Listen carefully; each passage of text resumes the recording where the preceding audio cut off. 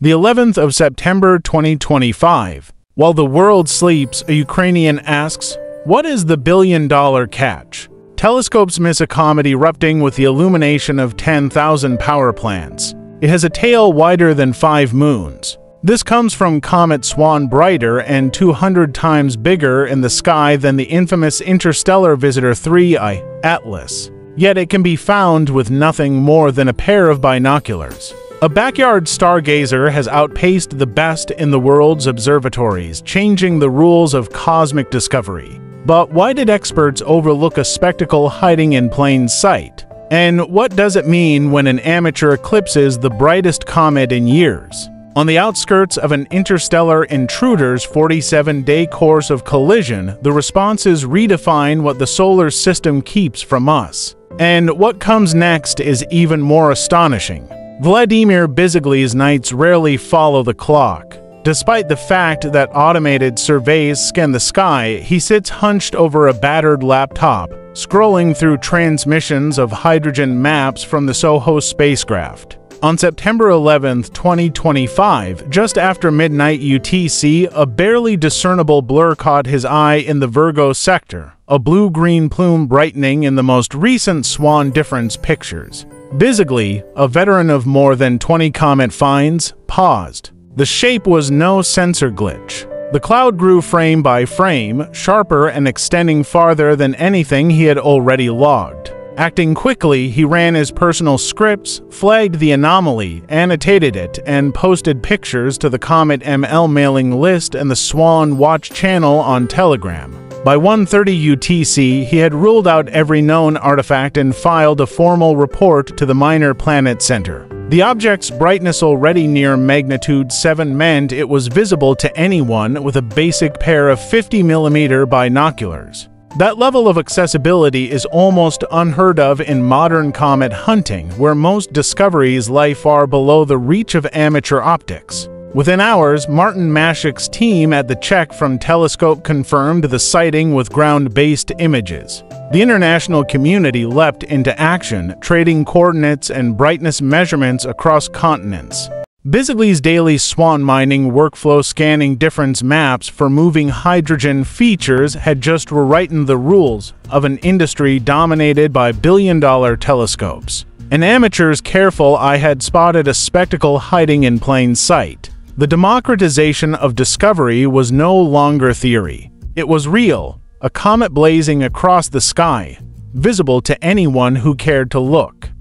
Twelve hours after discovery, the comet's trajectory was already mapped in detail. The numbers are staggering. On September 12, 2025, Swan passed the Sun at just 75 million kilometers, roughly the distance from Earth to Venus.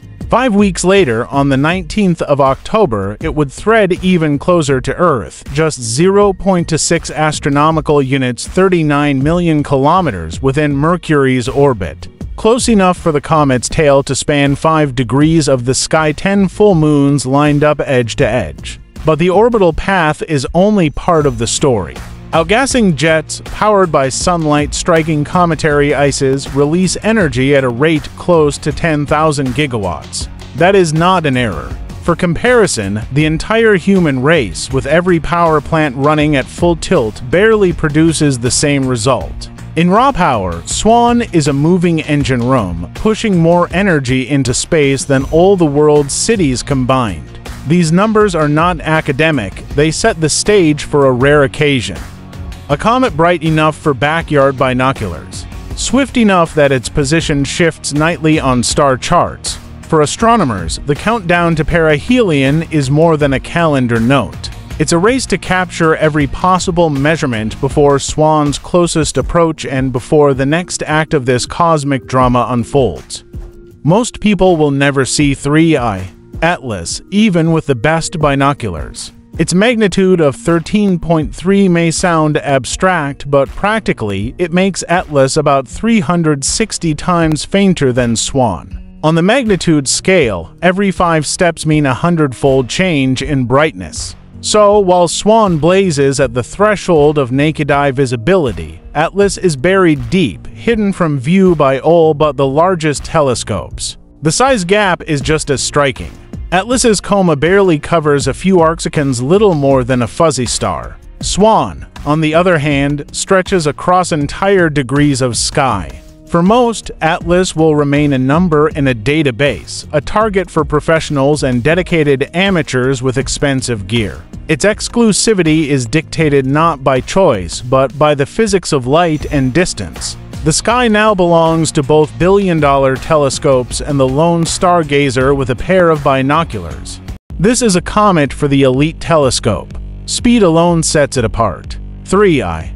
Atlas is distinct from any other living comet. Tracked at 58 kilometers per second, it moves fast enough to cross the distance from New York to London in under 2 minutes. This is not a solar system wanderer, it's a true traveler through space and time, following a hyperbolic path that guarantees a one-way trip away from the Sun. At one point, Atlas approached perihelion 1.36 astronomical units, or approximately 203 million kilometers, from the Sun. Teams of observatories across southern Europe turned their most powerful telescopes toward its dim core. The spectra revealed something unexpected, a chemical cocktail dominated by carbon dioxide with an 8 to 1 ratio over water vapor. Even more surprising, the data showed clear signatures of nickel vapor, an element rarely detected in comets and almost never in such abundance. These findings, confirmed across independent observatories, hint at a formation history far from our solar system.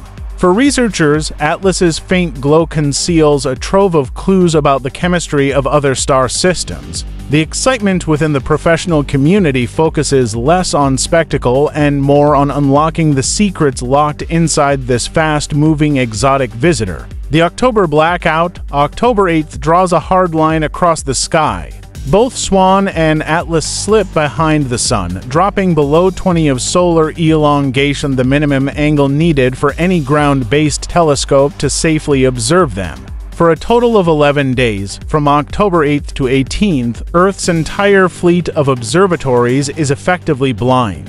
Even the most cutting-edge instruments are powerless against the sun's glare. No images, no spectra, no real-time tracking.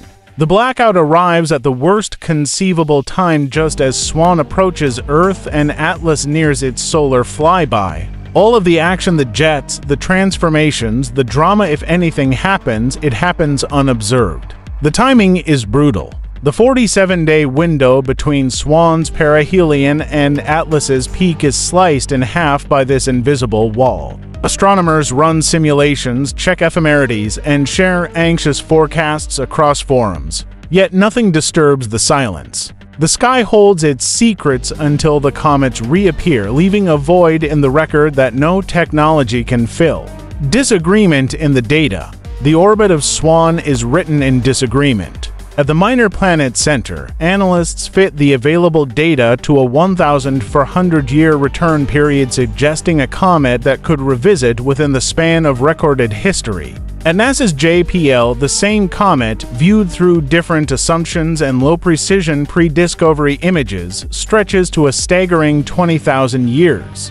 The split almost 19,000 years apart shows not rivalry, but the true limits of what can be known from data collected just weeks before the comet vanished behind the Sun. Both solutions are provisional, each depending on trust in faint pixels from STEREO-A or a handful of ground-based points.